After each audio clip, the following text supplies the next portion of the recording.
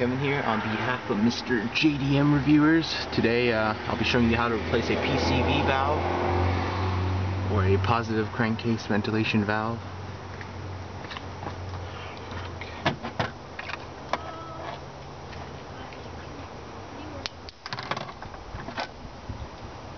Just pull, just pull the hose off here. That leads to the positive crankcase. Um, get a pair pliers for this one. This one it wasn't budging. Just, just prop it out. And it should eventually come out.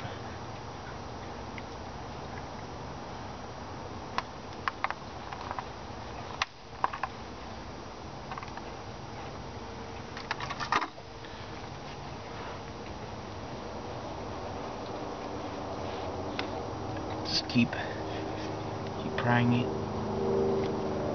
Stuck in there. And there you go.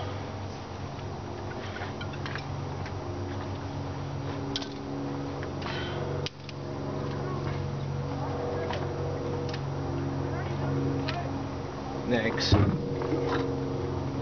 Take the new one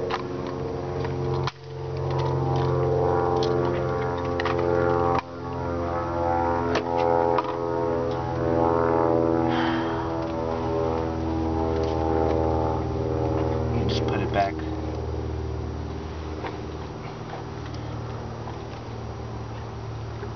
Just push it in.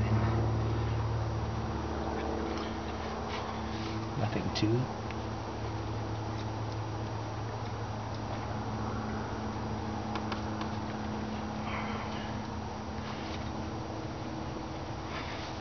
It is not going in. You gotta use a lot of force get these things in. Actually, put this one, put the other end in the hose.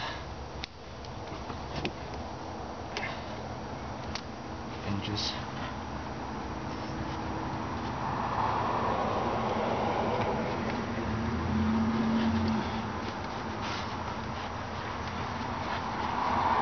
force it in.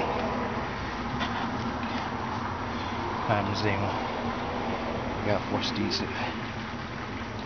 Sometimes you gotta force these things in, and that's okay. Actually, just keep pushing.